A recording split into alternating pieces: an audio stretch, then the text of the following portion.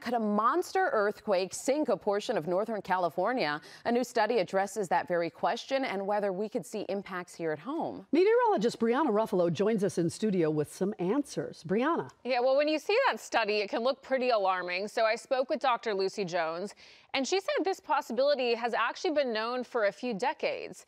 Now, this new study calculates the risk of where and how much land could sink. But the bigger concern is not a monster quake for the Pacific Northwest.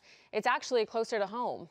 The Cascadia fault line is the focus of a new study, breaking down the flooding potential a 9.0 earthquake could bring to the Pacific Northwest and the Northern California coastline. It's a fault about 700 miles long, running from Northern California all the way up to Vancouver, British Columbia, capable of producing a massive quake, which was last seen in 1700. Dr. Lucy Jones says while we would still see damage for coastal areas, this fault line is offshore, so the heaviest shaking would be underwater.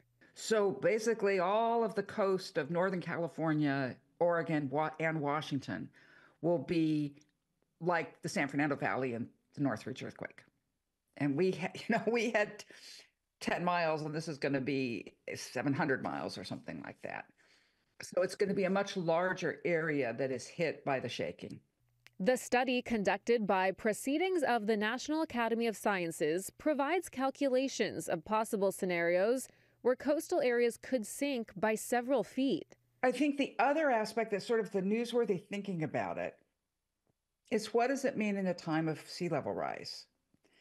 And uh, it's another compelling reason to really do something about climate change. But Dr. Lucy Jones says the possibility of this monster earthquake actually isn't the worst case scenario. The most damaging earthquake I can think about was actually not even on the San Andreas. It would be a magnitude seven and a half under Los Angeles.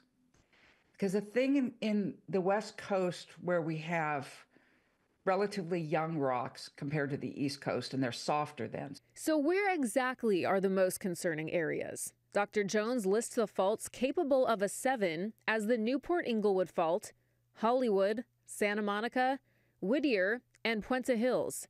She says there are about 100 faults under LA, but the worst model output is the Puente Hills Thrust, a fault that runs right under downtown Los Angeles. Uh, it's bad luck if you happen to hit the, the, the century that we have the magnitude 9, but those sevens in Los Angeles are, are more deadly.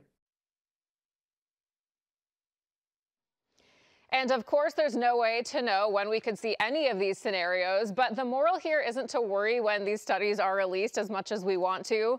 Uh, Dr. Jones added it's possible we don't even see the Cascadia Fault 9.0 in our lifetime, but it's important to understand the impacts of rising sea levels and how this could create double the impact.